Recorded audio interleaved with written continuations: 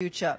The established, successful practices of yesteryears are no longer aligned with the requirements of tomorrow. The all important question in these challenging times is what will it take to be relevant to customers, to employees, the community, investors in this new era of uncertainty? In this setting, we bring you globally renowned management guru, Professor Srikant Datar, Dean of the Harvard Business School. A big round of applause, please. Thank you. Thank you. Professor will give us uh, a deeper understanding of the new trends in management, navigating uncertainty in the post pandemic era, and draw on his vast experience to guide Indian executives on global trends on business. He serves on some of the most powerful boards in the world, and we look forward to this enlightening masterclass today. Thank, Thank you, you, very much. it. Thank you. Hello, everyone, and welcome to this Business Today masterclass with the Dean of the world's top business school, uh, Professor Srikant Datar. Uh, I remember sitting in Professor Datar's class, and his words ring loud in my ears. He said, Don't be innovative when you're accounting, and don't think like an accountant when you're doing innovation and design thinking. It boggled my mind that there is a professor whose knowledge base is so wide and so deep that he teaches accounts, governance, and control, and at the same time, he also teaches design thinking and innovation.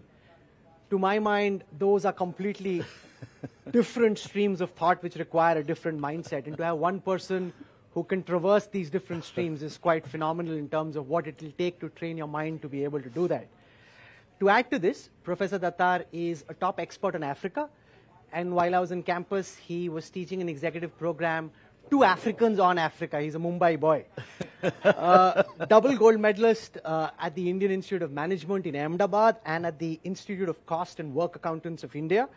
Professor Datar has a master's degree in statistics, economics, and a PhD from the Stanford School.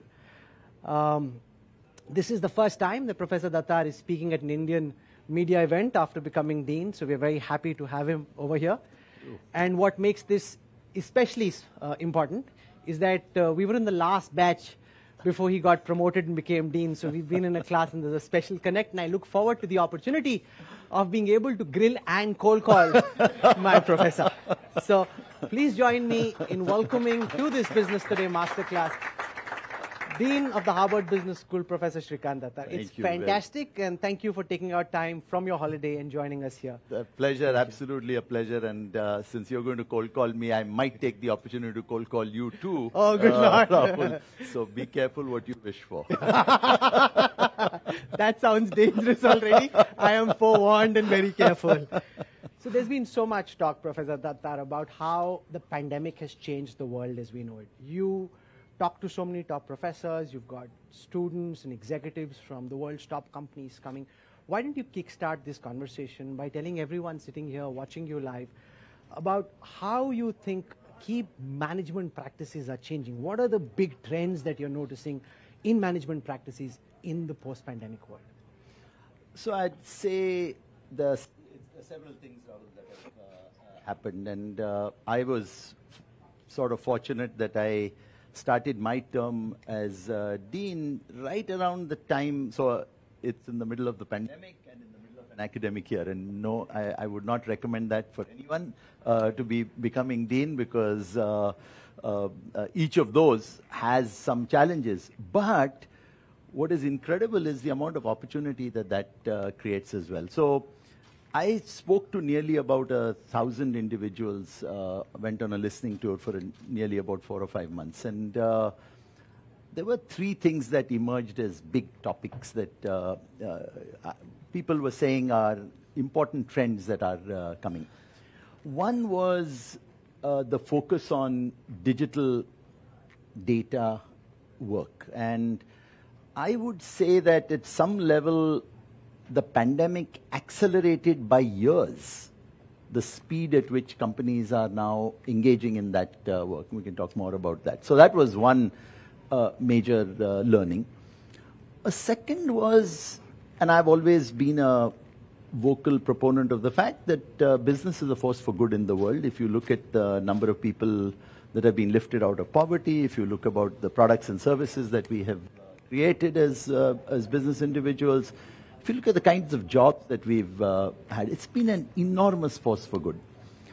But right around this time, one looks at the challenges in the world, and yes, one will always look to governments to uh, play a role, but there are some amazing opportunities that come from those challenges. And so the idea is how should business begin to think about its role in society uh, was a second big thing that happened. And remember, this is in the middle of uh, the pandemic where there's a health crisis, there's a social crisis, there's an economic crisis. So people are were looking for what's uh, what role can business play.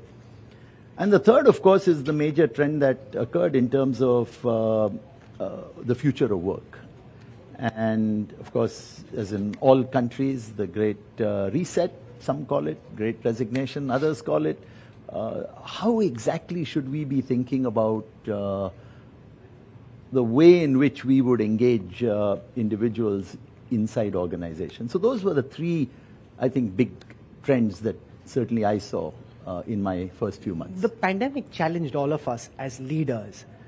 Uh, many sitting here would wonder how do you think leadership styles need to change in a post-pandemic world because people now see the world differently Yeah. to be able to motivate align your workforce to achieve management goals how do you think we need to change and evolve as leaders So I think uh, again several several trends that you can already see. So one of the important ones is uh, a tremendous amount of focus on ESG issues. So it's already people are yearning for more uh, understanding of what is that role that uh, business can play. You also see a much heavier focus on purpose much more than we have seen in the past. So the idea, why should someone come and work for a company? What is their broader purpose? Of course, we always want long-term profitability because without that, there is no sustainable business. But what is the broader purpose for someone to uh, come and work? And I think from a leadership point of view, it has raised issues about uh, resilience. So how do you how do you build resilient organizations that are able to contend with the uncertainty that you were describing earlier? How do you act speedily? Because I think you can't now work at the same pace that you were working at before. So leadership uh, in that. So agile, speed. And then just being very resourceful and adaptive. So I think it has caused the focus of leadership to shift in these ways because of the events that have transpired. You mentioned the great resignation. I think one of the big issues Yeah. managements and HR departments the world over are grappling with is trying to get the workforce back into the office. Yeah. And now that so many people are used to working in their pajamas, they see no point in getting ready, putting on a suit and a coat and a tie and showing up at office. Yeah.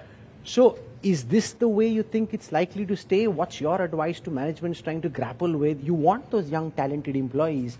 You'd ideally want them back in the workforce, but that young, talented resource says, hey, I can be on a beach in Goa, I can be up in the hills in Leh. Why should I come to the Mediaplex? You know, it's uh, actually fascinating to think about what some of the data already shows.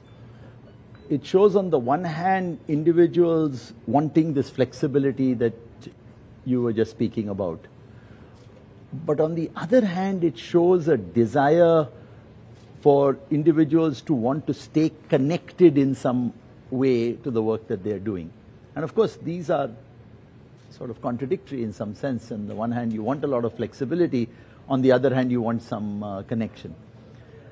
And I think what this is things that will, I think, work out over the next uh, uh, few months for sure, and perhaps uh, next couple of years. But I think what, given this tension, what organizations are trying to think about is: is there some innovative way where you can actually respond to both? So, for example, organizations are thinking about anchor days. So, where you get the ability to have this community that we're uh, speaking about, but not necessarily everyone showing up at the office all five days in a week because of this uh, flexibility desire as well. And I think there's a lot of experiments being run at the moment, and we know that even in very desirable jobs, when executives said no, you have to come for all five days, people are saying no, thank you. And how do you then create those cultures so that you can actually have people coming together and uh, working together, providing this flexibility, and so individuals are and, and HR managers are are grappling with this idea about uh, how do I have these anchor days so that people will come. But what is important is trying to think of those days, and this is a major HR challenge, I think, across all uh, all companies that we've interacted with, which is how do you have those days where it is attractive for someone to come? Even then, you don't just automatically say yes, you'll come. Although I think there will be a little bit of that push as well, but the pull of how do you make it attractive for uh, individuals to come. So I think it's uh, there'll be many experiments run. I think at the moment everyone is saying, let's try a few different things to see how it'll work out. In Iceland we'll at this moment, there's an experiment which is being watched the world over on a four-day workday. Yeah. I'm sure everyone sitting here saying, "Ha, ye ho jaye to bahut acha. Do you think this is a pipe dream, or could it be the new reality? You know, it's a I, I don't think uh, certainly if I'm speaking about the U.S. situation, it's not there yet. But if you're saying four-day workday in the office, people would be very happy if that was the conclusion right now. If you were one of those who wants everyone to come into the office. Uh, so I think it's still the flexible workday is still the one, uh, trend that is, uh, I think, uh, or, or certainly the uh, dimension that everyone is trying to work toward.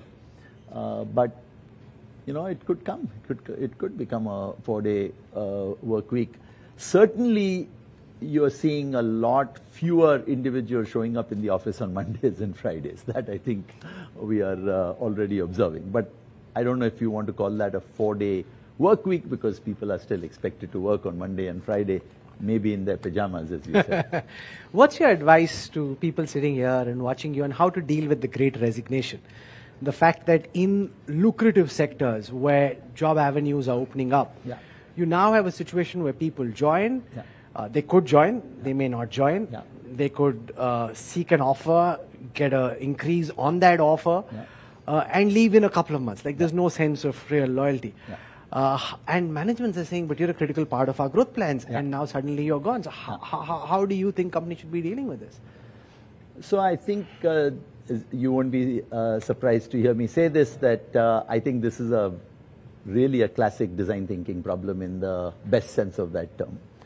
Uh, it is how do you deeply understand exactly this tension that I was talking about in terms of flexibility on the one hand and the desire to have community on the other. And how do you design both the workplace, the work itself, the opportunities for development? That bar, I think, has been raised. And so I think companies, as, as we were discussing earlier, will continue to try to innovate to do that. To do that. I think companies are going to have to figure out ways in which uh, uh, the development of these individuals is going to be seen as more and more important. And where I'm seeing some companies already at the leading edge begin to think about it is how do you think about those development opportunities so that individuals see their careers rather than only their jobs. See, the more you are focused only on the job, all the things that you talked about are likely to happen. Mm-hmm. But if you can focus individuals on development and careers, the opportunity for you to say, therefore, and of course, first line managers will be very important. Everything is, the, all of these, I, I don't think you're going to get past this by just saying you have to show up. I think we know already from the data that that's not. Now, the only caution I would have there is whether this is a, a, a, more temporary phenomena or is this more permanent. I definitely don't think it'll go back to where it is, but will it swing back a little more? We don't know. That's So something we that now have a situation where, on the one hand, you've got jobs which are being accelerated because of greater digitization, Yeah. where there's immense demand. Yeah. Anybody in that space is Yeah. just very happy with the Yeah. way things are. And then there are those who don't necessarily come from technical backgrounds, Yeah. uh, for whom computerization and digitalization isn't necessarily what they've done all this while. Yeah. And their upskilling becomes very critical. Yeah. But do you think that those who come from non-tech backgrounds now just have a disadvantage that you need to live with? Or what would be your suggestion on how they can actively upskill themselves in the absence of technical know how? So I would think it's a, it's a huge mistake if people think that just because I need to have technical skills, let's say humanities, uh, skills of people are, uh, uh, you know, not important anymore.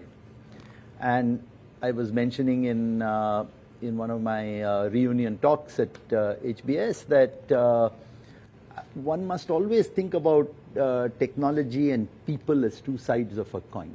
The more you build technology, the more you have to think about what is the impact that's going to have on people. And I said in my reunion talks, I, I, and I'm of course very proud to say it uh, here again, is that uh, for me, much of that uh, learning and understanding came from Gandhiji. I mentioned in my talk that uh, my father was part of the freedom uh, struggle, very much uh, follower of Gandhiji. So we learned Gandhiji's seven deadly sins, you know, as a very important thing, lesson to absorb. And so even as I think about some of the things that we're talking about, imagine what this would do. Science without humanity. Potential for commerce without morality. Potential for knowledge without character. And of course, I would also add pleasure without conscience, and then there are the other three that may not directly apply in this particular context. But I think it's crucial that every time we keep raising the bar on what happens with technology, you are at great peril if you ignore the humanity or the connection with people uh, to occur. So that's on one side. So I think it's a huge mistake. And it's certainly at the business school, we have we are very careful, even as we are creating these new institutes uh, for digital and data and design and business and society, we're very carefully considering how you think about people as well as you, as technology. Technology is definitely going to keep going. In fact, it's going to go faster. What we have seen is uh, going to keep accelerating. Think about uh, Web 3.0. Think about uh, what will happen in the metaverse. Think quantum computing, edge computing. So it's going to keep going, no question. I think it's a huge risk if we do that at the cost of uh, people. That's sort of one. Second, there's a very interesting book that my colleague uh, Tsedal Neely and uh, one of her uh, uh, colleagues uh, at the University of Southern California, Paul Leonardi, wrote, which says that of course, you've got to have a digital mindset now as your, in terms of your leadership skills.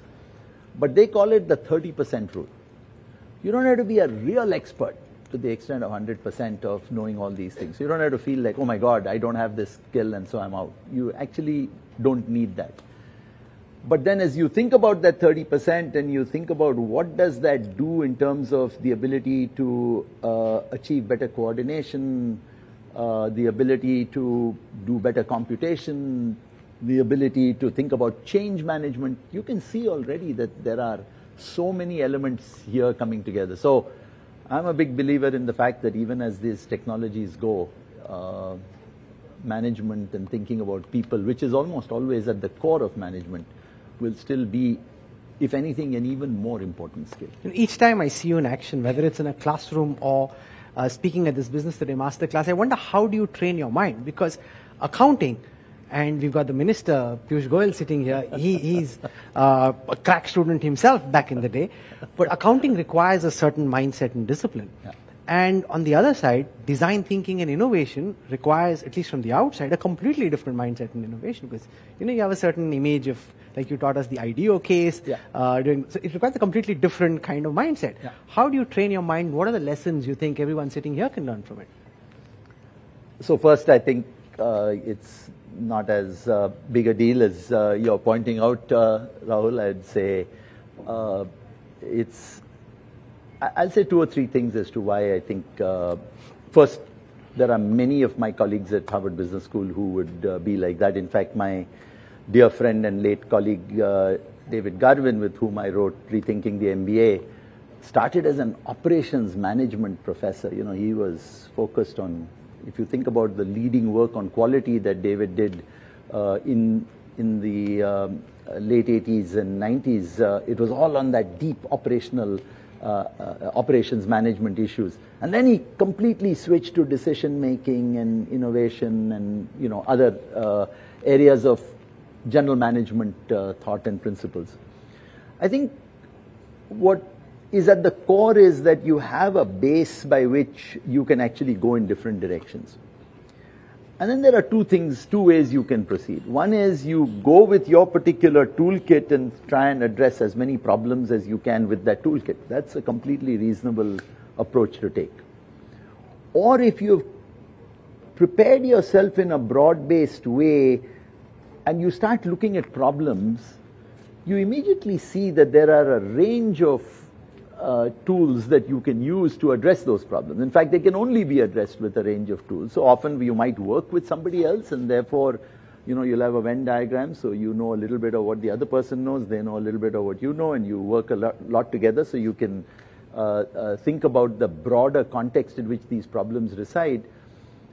And I think what has been particularly true of the Harvard Business School is the general management orientation that we take. This basic belief that just looking at one particular part of a problem isn't good enough. You have to look at it in uh, multiple ways. And so each will take a different form. In my case, it you know went into some uh, different directions. Certainly, my undergraduate training in mathematics at St Xavier's College in Mumbai was uh, very valuable in some of the work that I did uh, uh, in my research. But the idea that if you're looking at a problem and you're trying to think about where a solution might reside, it does tend to take you in very different directions. And what is fabulous, I think, about uh, our experiences and my experience certainly is the willingness of the school to let you invest there. I think that's the key uh, reason that many of us have this more broader, multifaceted approach, is that the school lets you invest in those areas over four or five year periods because uh, if you have, I think the most important thing in academics is to have a particular passion and curiosity for something. And uh, if you're willing to follow that, it can take you in many different directions. How strong are your Indian roots at this moment? I said we'll do a cold call. So if I were to question you in Hindi, would you be able to give a good response I in may not Hindi? be able to give you a good response आप कोशिश in Hindi. करोगे कोशिश तो कर सकता हूँ लेकिन I give you the answer in English तो try I just hope it through some multiple regression my way and okay how do you crack this but you worked at the Tata administrative Services, right you You working with mister Tata Tata. You look at look Indian companies do आपकी क्या सलाह होगी अगर हिंदुस्तानी कंपनियों को world beating companies बनना है? हाँ. दुनिया में अच्छा परफॉर्मेंस करें लेकिन इससे भी बेहतर परफॉर्म करना है। हाँ. तो जो तमाम आप कंपनियों को एक्शन में देखते हैं, आपके हिसाब से हिंदुस्तानी कंपनियों को क्या और बेहतर करने की कोशिश करनी चाहिए ताकि वो विश्व विजेता बन जाए? So I it's it's a very important question because I think attempt that Indian companies have made to move in that direction have been you know moved and then taken so it's not been as simple as you know जा सकते हैं, कर सकते हैं। And I think it is a, a little bit about. Uh, you know, naturally trying to appreciate the different ways in which, as you become more global, uh, you can work. And I think because the, by the way, this is true for Japanese companies too. If you think about it, you can obviously give the counter example of a Toyota or Honda, but they can, I can give you examples like companies like Nippon Steel and others that were at the very top that didn't. I think when the local market is very big, uh, the automatic pressure for you to start going global is not as strong. And to become more global, you end up having to think so differently about what the particular context is that you are uh, uh, that you're operating in that um, it's it's a little more of a challenge, I think, for companies to uh, to do that. But I would say that certainly in my early years uh, working with uh, Mr. Tata uh, in um, uh, in uh, India, I still remember to this day, and fortunately he does too. Whenever he does come to visit us at the at the business school, and uh, I, I, I spoke a little about it at the at, at my commencement speech this year. about how inspiring it was for us to think about uh, Sir Jamshedji Tata and the way he set up the organization and the way in which the contributions to society were made from the trusts that owned uh, the, uh, and, uh, the, the shares of uh, Tatas and the, and the profits and how they were uh, uh, utilized, whether it's health, education, so many so many areas of social welfare. and then, what is very interesting for me is when I worked with Mr. Ratan Tata, the problem I was working on was at that time, which I hadn't quite understood in as deep a way, was how do you share risk on the one side and create incentives on the other? And I probably wrote four or five papers uh, in my academic career just based on that particular problem that he and I were uh, thinking about uh, in my early years. So I always attribute a lot of my uh, career and early contributions to Ratan Tata's uh, way of just framing problems in a way that got me very excited about certain types of tensions that exist uh, that could benefit from more academic research. You mentioned globalization. During the pandemic and even after, there's been a big debate about the future globalization uh, takes from here. On the one side, you've got the argument that you know this is more about localization or mm-hmm. regionalization, and mm-hmm. uh, companies want more resilient supply chains mm-hmm. and they look to go beyond China, and therefore mm-hmm. countries like India have a big opportunity. Mm-hmm. The other argument, which is uh, held very strongly by many professors at HBS, yeah. is that this is more talk. Yeah. You know, it's good for you guys to say this on TV. In yeah. reality, money will go where it makes sense for money to go, and that still uh, it still makes sense for money to stay in China, and that's just the reality of value chains and the way that they're developed. They're so entrenched that it's not going to change. There may be some superficial change on the margins, yeah. but there won't be deep-rooted change. Yeah. Which side of the argument do you come out on? So I think there is no question that the current pressures are such. You, you've seen the disruptions in global supply chains that have occurred. And the need for, so you were talking earlier about uncertainty and the need for resilience is causing a lot of companies to uh, do much, much more in terms of trying to think about these alternative supply chains, if you will. And that's not just in materials, because that's the area that we are most, uh, most obvious and most familiar with. But if you think about uh, individuals and the opportunity for them to, you know, get uh, uh, the, the right kind of skills that they may, that they need, you see companies like Microsoft and Google already investing heavily in developing talent, uh, in reskilling. Of course, that's already needed for the new digital world. But they're investing a lot of talent in reskilling because it's a matter of, it's not just the return, Rahul, on the one side. Of course, that's true and that it'll, that will always be there. It's a matter of risk on the other side. So just like in all these decisions, how much risk are you willing to take uh, when these uh, possibilities are much more uh, pronounced now that it might get disrupted than they were in the past. So I see definitely a, a, a trend towards uh, more regionalization occurring in the in the short run. But like you said, eventually, and, and of course one never knows, the, the, both the geopolitical as well as the economic issues are such that uh, you know, you, you might see a more sustained period where there, are, and by the way, the world has always seen this, right? It's, globalization has never been just one way up. It's come, it's come down. There have been significant periods of uh, regionalization or deglobalization, followed again by reglobalization. So we may be in one of those periods where it is down at the moment. I think if you look over longer periods of time, I agree with you. It will probably continue, uh, globalization will continue. But the risks today are sufficiently pronounced that alternatives are coming up. But once these alternatives come up, if people think very innovatively about the kinds of alternatives that come up, they might start becoming attractive enough that you may not rush to it uh, quite as uh, quickly. So I'll give you an example of uh, a project that we're doing at the Harvard Business School today on what's called the OneTen Initiative. And the OneTen Initiative is is arguing, and by the way, I think there'll be opportunities in many countries that we might be able to do similar things. Uh, one stands for 1 million, 10 stands for 10 years, And the goal of the OneTen initiative, launched by two individuals, Ken Chenault and uh, Ken Frazier, is to employ these individuals who do not have a college degree in living wage jobs in corporate America over 10 years. So you're going to employ 1 million over 10 years. None of them have a college degree. They only have a high school uh, diploma and may have done a couple years of community college, but if that, not, but certainly no degree. And what this research shows is that there are many companies that require college degrees in their jobs, which are actually not needed. IBM, for instance, uh, 20 years ago or thereabouts, we just have a, completed a case on them. 90% of their jobs required college degrees. Today, when they actually look at the jobs, it's less than 50%.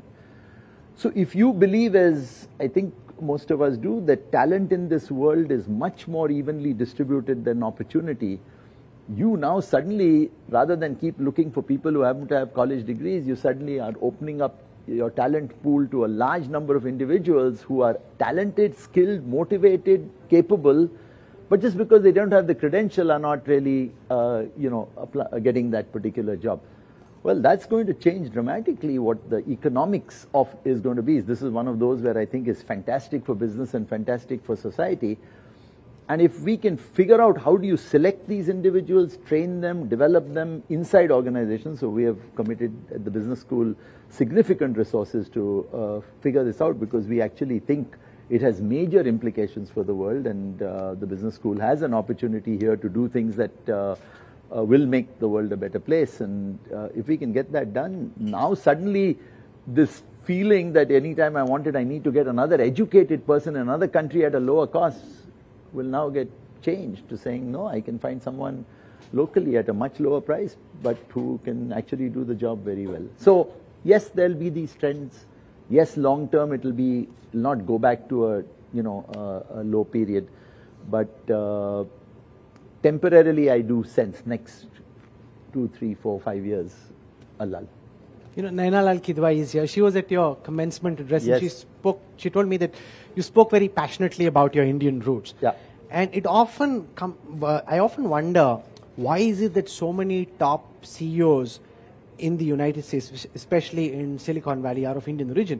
And how is it and I say this with no disrespect to professors of any other ethnicity or nationality, that how is it some of the biggest superstars of academia also happen to be of Indian origin. क्या बात है इस मिट्टी में देखो आप जब देखते जो जाते यहां से they are of a particular we have i mean it's so competitive to be here itna mushkil hai you to get into any of these institutes that we're talking about that you're already at some level. I say that, I think that most of us would say this, we basically won the lottery in our life, right? Because we just happen to go to places like IIM Ahmedabad. It doesn't mean that the next 180 people at the time I went were not as good as, just naseeb tha कि हमारा number आ गया. And, but of course there was, there is that, that, that, that the talent that is going is, of course, very, very strong. You then work with, I mean, the amount that each of us has learned from our colleagues who are there, just like all of you learn when you're at the business school from your uh, colleagues who are there, is enormous. So you're meeting wonderful people, you are given that opportunity, uh, and of course you have a certain amount of curiosity, you have a certain amount of, you know, you worked quite hard. You carry those skills with you when you go. I also think, and one should look at it in a more uh, general way, I don't know if, in fact, that is completely, despite what I just said, I don't know if it's completely true because as you know in statistics, you always find these couple examples and you say, oh my goodness, this must be what is actually happening uh, not always clear that that's the case. If you look at the total number of people who have gone and you say, yeah, you might, you might see. Of course, you know the ones who have succeeded, and those are the ones that you always uh, think about. But I think one has to be extremely humble about this and just recognize that we were extremely lucky. I think the most important part. Uh, in my own case, I would certainly say that I was privileged uh, to have the parents I did. Again, did nothing to deserve them other than God's grace and luck. Uh, but, you know, I grew up, my father was an academic, so I grew up in a very academic uh, household. And uh, my grandfather was uh, a scientist and fortunately received the Padma Bhushan in 1964 for, he was the director of the Indian Council of Medical Research. So we grew up. So up. Padma stay in the family. So Uh, passed on uh, generation uh, to generation. Again, all uh, I, I, I, I've often said that when I saw who else received it, uh, when I did, I didn't think I deserved it nearly as much as some of the others who were there. I thought they were amazing individuals, but uh, it just that it it's uh, you know you you grow up in a certain way and then that luck carries through. So I'd, put it more to that, Rahul, than anything. A lot of modesty there. Uh, I want to throw this open to the audience for questions. So you can think of what question you have in mind. We'll send a mic across. If you were rewriting your book, rethinking the MBA, uh, business education at a crossroads, and if, I think you wrote it in 2010. If you Mm-hmm. were to write it again, what would the genesis of the book be? How are you rethinking a uh, the future of the MBA? What does an MBA from here on look like? So I would still be uh, as uh, uh, positive and uh, as uh, uh, hopeful as I think we were in 2010 about the value of this degree, because it's a it's just a different way in which you think, and I I think the mistake that people make when they think about the MBA degree is just the knowledge that you get in different subjects. That is certainly true. But this ability to get things done, the ability to uh, engage in different discussions and debates so that you're constantly learning how to learn, which I think is a huge part of what happens in MBA education, and making judgments all the time. You know, you're always making judgments as you're, uh, as you well remember, Rahul, when you were in class. Uh, always making judgments, and you're listening to other people's opinions and trying to understand what you just, you just get. I mean, when I speak to the alumni, one of the things they say is that method of trying to, and, and this happens across MBA programs in different ways. We probably are at a, at one uh, end of that spectrum but it just allows you to be so aware of different points of view that you get to understand the world so much better about what's coming than you know if you don't have that kind of training and then the ability to deliver across and execute and get things done I think where it, so there'd be a lot that would stay. As you might recall in the book, we talk about knowing skills, doing skills, and being skills, and I still think those are very important. We just talked about being a little bit earlier. But I think where it would change now would be a little bit around what you asked me at the beginning. I think there'll be, we had talked a lot about business and society, even in rethinking the MBA in 2010. We'd have probably talked about it differently now. Uh, and again, just thinking about issues uh, like uh, uh, equity that we were just talking about, like climate, uh, I think there are going to be some big opportunities for business in these areas. And then, of course, on the what you had already asked me about digital and data, that How do you perceive the India story at this moment? If somebody looking from the perch where you are were to look at what uh, the Indian government is doing, Yeah. policy maneuvers, what more would you like to see beyond what is happening for India to be able to realize its true potential in your view? No, I mean, I think you, you're already uh, seeing a lot of, uh, uh, regardless, of, you just look at long spans of history and you're already uh, uh, seeing it. Of course, it's challenge. There are lots of challenges. But I think the issues that we were talking, that you and I were talking about earlier are all there. I mean, look at the amount of technology and, uh, and entrepreneurs that are, that are coming out of India at this point in time. In fact, I happen to have the privilege of serving on the board of governors of both uh, IIM Ahmedabad and IIM Calcutta. And never at the time when I was at the institute would I see this many entrepreneurs coming out of those institutions. It's just staggering what's happening. That's all coming because they, there's a different environment uh, that's being created and, and uh, lots of opportunities that people see. Uh, and the ecosystem, I think, is really important. That you know, you think about, of course, regulation. You think about uh, uh, uh, access to finance. You think about access to capital and talent and teams. I I think it's you. You can see distinct changes over. Certainly, when I think about you know, my class that at IIM Ahmedabad and I think about the class that I see graduating now, very, very different. And in a very positive way. I think it's, uh, it's fantastic what's going on. Can I cold call the minister, please? and uh, get you to. Get, get, get, no, no. I, I, hear, hear, into, hear, hear my question. this cold call. Hear, hear my question. He's a you know, cold we get to hear from you, today. Minister Goyal, on commerce, on industry, on railways. Can somebody just have a mic sent across? Mera sawal do you do you, do you do you want to reflect on your time at uh, the Management Institute and how it helped you train your mind? Do you want to just? I'll take uh, a second. ऐसा allowed होता है professor class में? Your class, ना? मेरे class में आप बिल्कुल नहीं. like, no, but how, how do you think your time at the Management Institute, Minister, helped you train your mind? And what is it that you picked up from a classroom which you think is relevant for what you do as Minister uh, in trying to shape policy? Can we just have a mic brought across, please? Thank you. Thank you, and it was very interesting to hear you, Professor, and your thoughts about India, the thoughts about the post pandemic world. I've, of course, only been able to spend a few weeks at Harvard Business School, much as I would have liked to complete my program. But circumstances have not allowed me to get back to school. I think uh, getting back to school on- only opens your mind once again. Uh, you spoke about Mahatma Gandhi, he never went to business school. Yeah.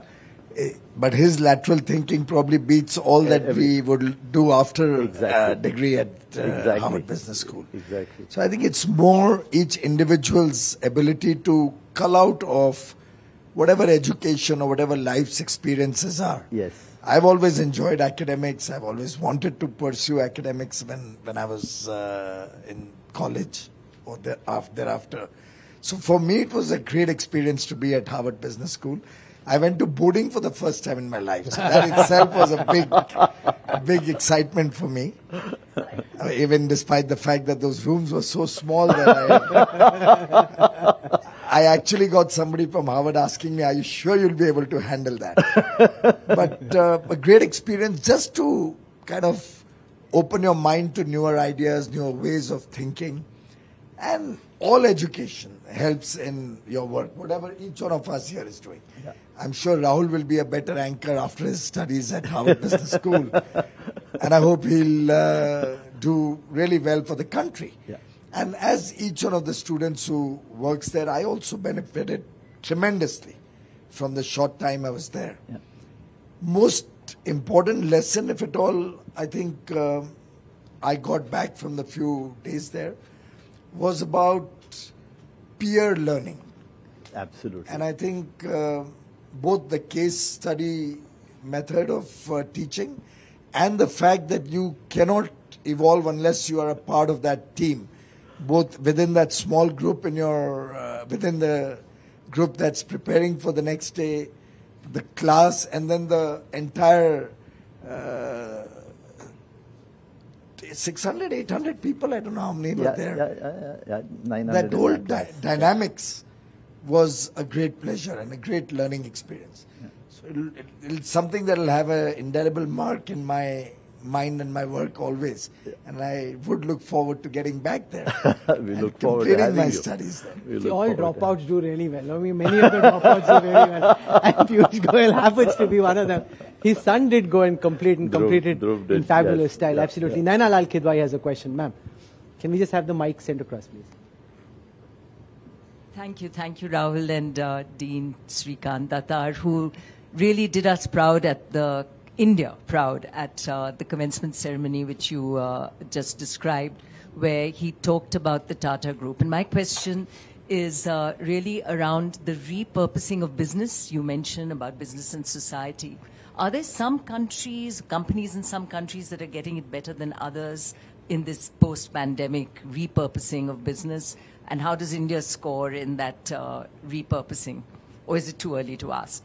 No, I mean, if you think about, I always say, if you think about what India did in this domain, I mean, the fact that, and, and obviously there's always issues around implementation and so on uh, that we always have to worry about.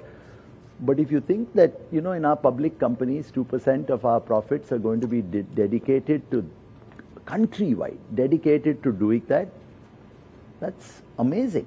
I mean, it does say that, you know, we do care about uh, what bigger a role business can play, and we did that presumably because we felt that uh, business, because of the way they do things, can actually make a difference in these areas, right? The skills that we have are such that it can be actually applied there.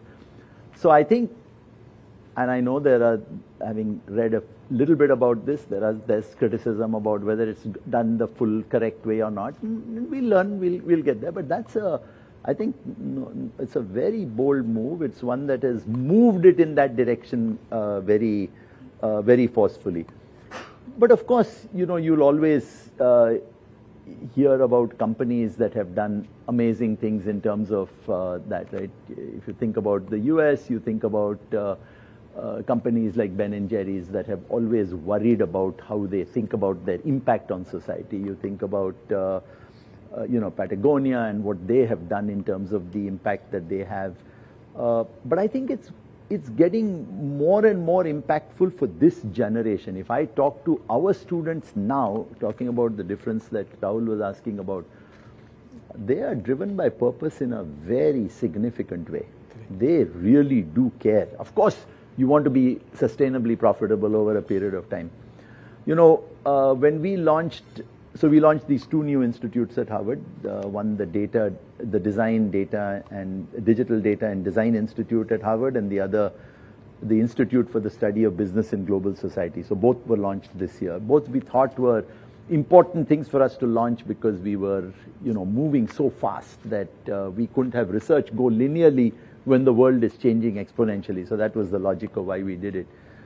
Uh, but we asked Satya Nadella to come and launch the institute, the Business and Society uh, Institute. And Satya was uh, superb in the way in which he described why what we were talking about a little bit during my commencement speech and what we are talking about now is so important, which is if you think about long-term sustainable profits that a company should earn, and that's what he says he is unabashedly looking for.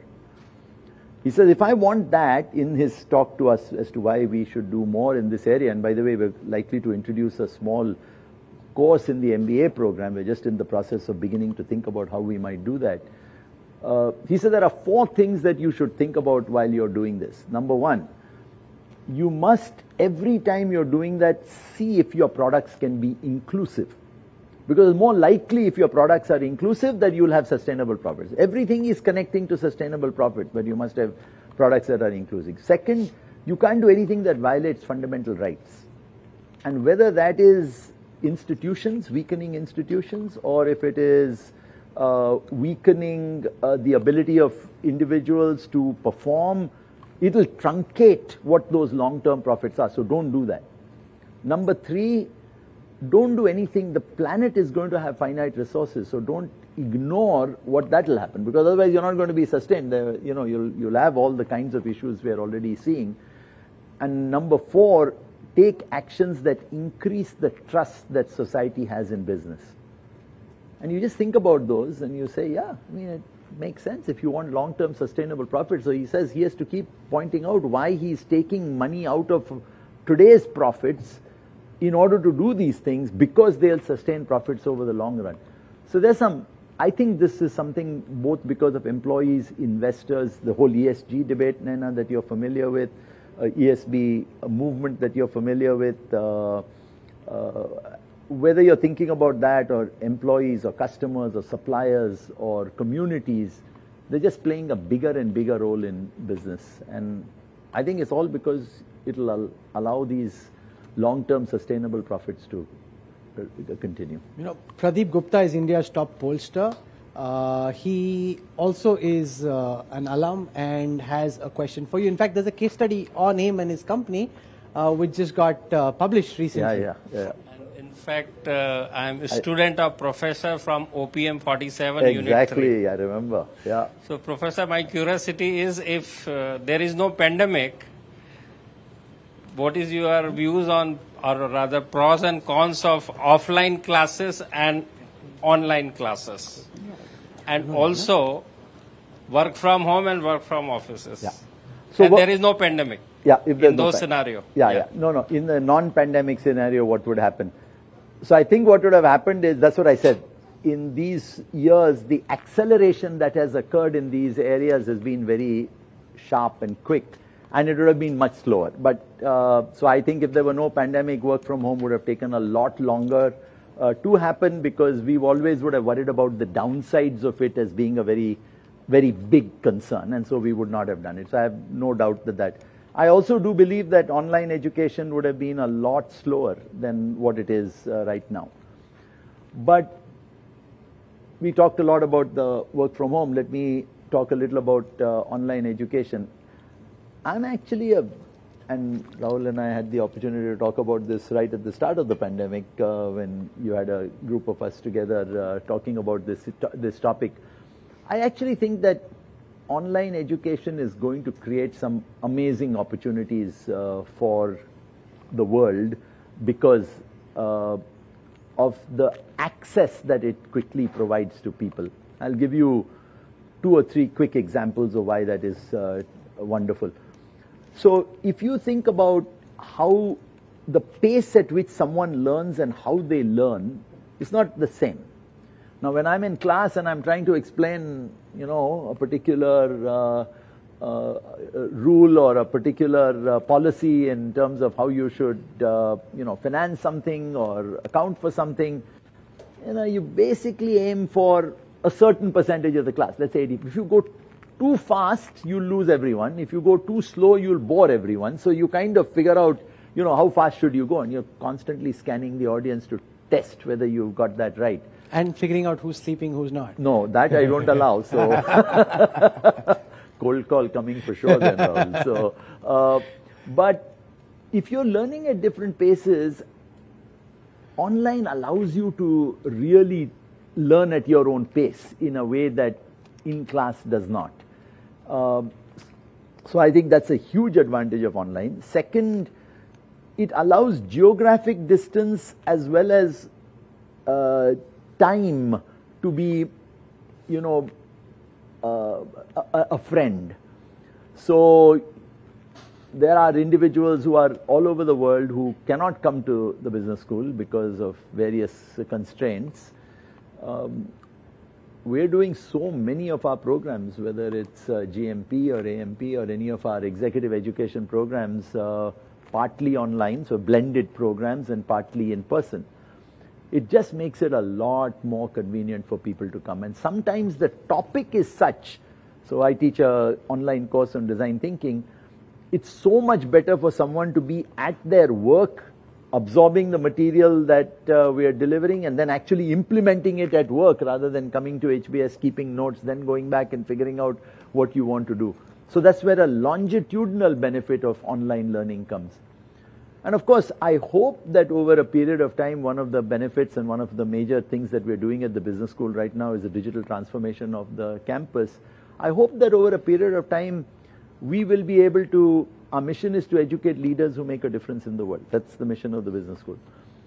And I hope with online we will be able to share the privileges that we have with a lot of people all over the world because if in fact our content is something that is worthwhile and helps the world, we should find ways to actually do that. And as we continue to deliver on uh, uh, online approaches, that's what we'll aim to do. So I think both would have been much slower uh, to, to, the point you're making, uh, Pradeep, but I think uh, the, though that's part of the silver lining because of the pandemic, it's moving fast. I'm a big believer that we should do much more online, and we'll have to figure out uh, work from home as we were discussing Shantanu? earlier. Just wait for the mic to come.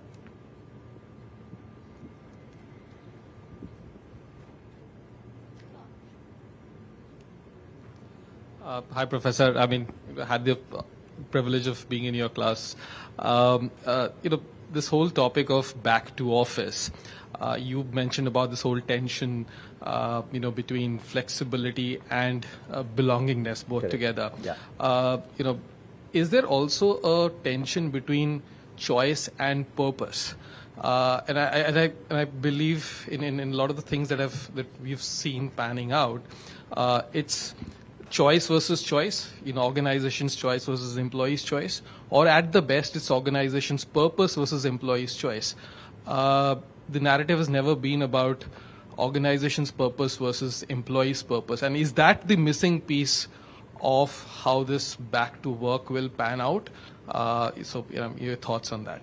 Yeah, so I think, you know, particularly as I said, uh, with the importance that this generation puts on purpose, uh, it's something to, that's it, that, the point that you're making between individual purpose and uh, employee purpose and organization purpose is really important because it's the magnet that will cause someone to feel that, yes, whatever else is, uh, uh, is happening in my life, I, I am able to fulfill my purpose in a, in a more powerful way by being connected, by being belonging, by uh, doing things that I might not otherwise do.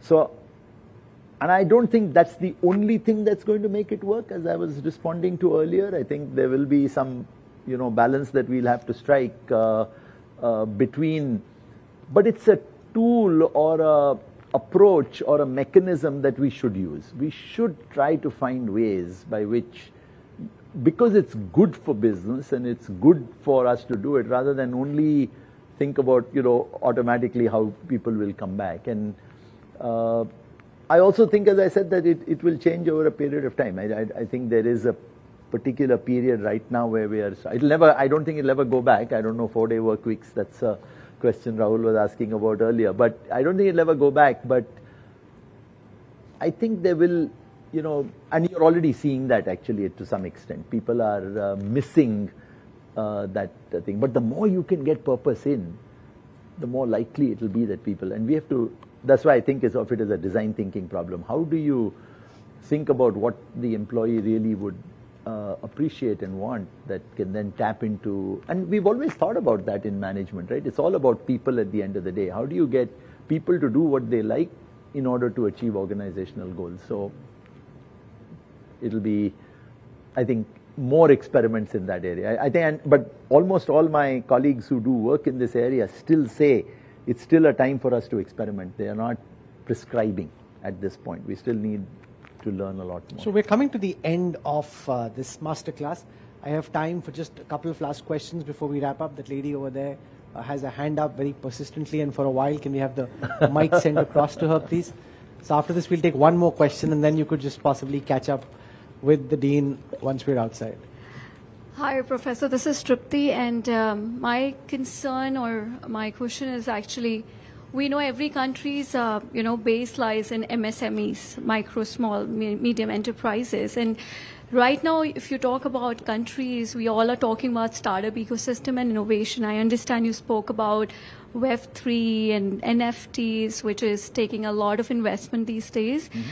And of course, now every kid um, whether clearing an exam or um, college or school wants to start a startup and not go for a practical experience before starting this. So I see a lot of um, challenge in future for countries where the focus is on startup, of course, which India I'm talking about specifically, and completely ignoring MSME aspect. Getting the right person is becoming so difficult. And on the other side, we are talking about unemployment mm-hmm. to get jobs. And companies who want to employ people are not getting the right resource because they may be interested in starting their own things. How do you see how to deal with this situation for the country, you know, overall. What do you think is coming, and what are we ready for this with innovation happening around? So I'm, uh, you know, more uh, more positive about it. Uh, I have to say, uh, for two reasons. One that. Um, uh, you know these things have a way of. Uh, you always again is the is the statistics the ones that you know about that you think. I mean the pool of talent here is so vast that if you can figure out what you're going to tap into and how you're going to tap into it. You know, it's uh, it's something that uh, if uh, companies worked hard at, they'll be able to uh, do.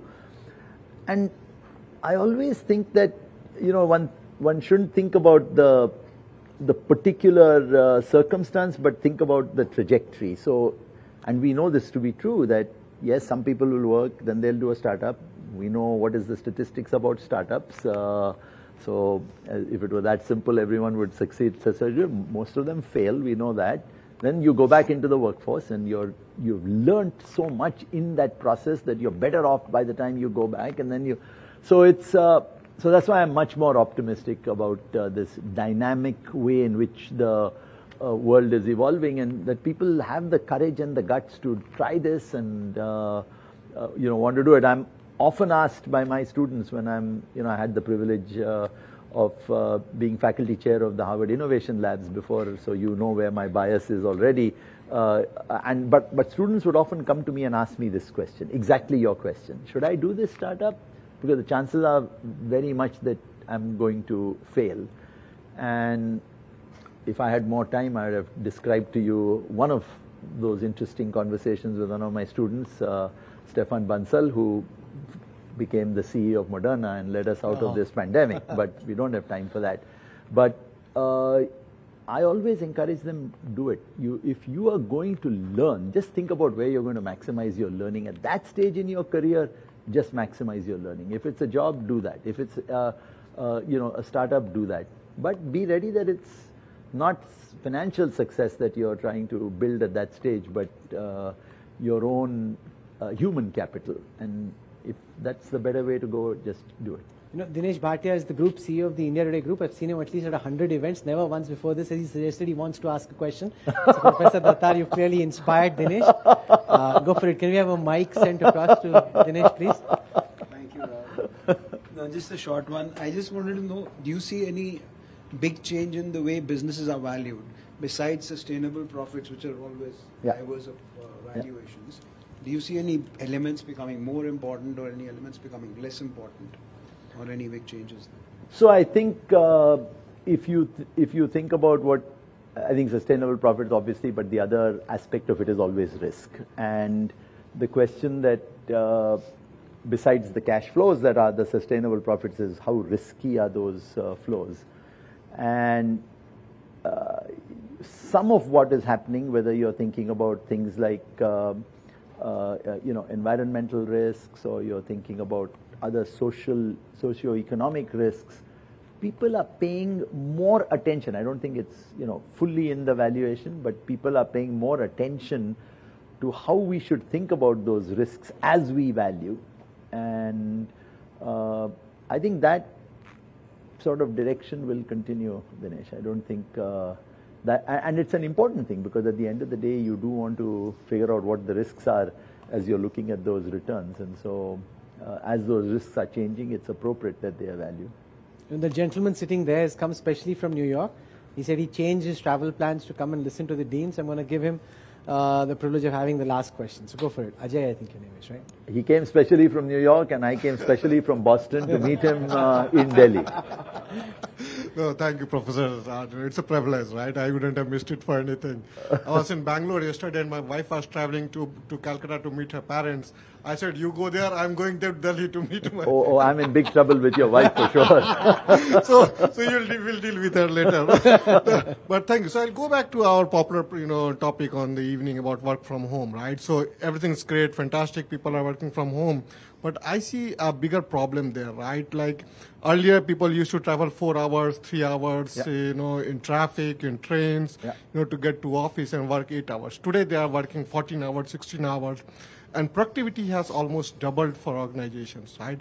So what do we see now for organizations? Organizations are taking this as, you know what, I'm getting more work than what I used to get earlier, right? yeah. So, so what does it mean to organizations? One, and secondly, what does it mean to people, humans, families, right? That's important. So. Yeah, yeah. No, I, I- think that's clearly the other side of it. I think uh, Microsoft has some analysis that they can do as to when you're there, and it was a study that they published where they are they are seeing this. Uh, and I think this becomes, I mean, coming back to this sustainable long-term uh, situation, this becomes an issue for management now, and this is one more of those things where every time you're thinking about technology, never ignore the people side of it, just because the technology allows that. Uh, we have to, as leaders of organizations, think very carefully about burnout that's going to happen as a result of that, work-life balance in a different way that is uh, that needs to happen as a result of that. Uh, so I think it will be incumbent upon uh, us as leaders to think about the topic you're talking about is a really important, complicated one, and uh, uh, I think again it's one of those things that in the early periods you don't think about it, but I can assure you at the moment a lot of companies are thinking about this because for the same reason that you're describing. So it's something that we ought to pay a lot more attention to. Okay, so we are out of time on this masterclass. You know, it's very rarely that you have a minister come, sit silently for so long, listen, absorb everything. We've had people come in from New York. We've got people standing with uh, through the period. So you've obviously uh, inspired people to be here, and hopefully they've benefited uh, from your talk. I just want to, ha- yeah. Rahul, before you close, Yes. I think you have uh, some people from hospitality and travel, and it would be good for you to ask them um, a question since they are most affected by what has happened in terms of corona. We saw them cutting back and then having to deal with the deluge of the summer vacations and not being able to deliver. So this start stop, Stop. economy, which is really difficult to find a rhythm in business. I mean, I, I'm asked that question, but I mean, I don't know, uh, Mr. Sikka or Mr. Madhu, go Shringi, for it. whether you want to add to this.